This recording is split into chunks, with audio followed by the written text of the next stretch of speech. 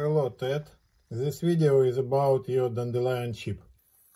This is your chip installed with help double-sided adhesive tape in my testing adapter. Now I'll check the chip in my camera.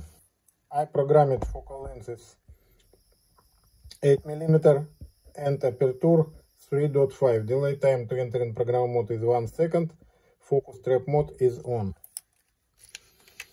You can always reprogram chip from our programming instructions.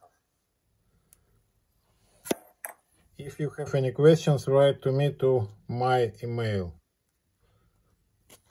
The chip and the additional shelf for installing chip on your lens.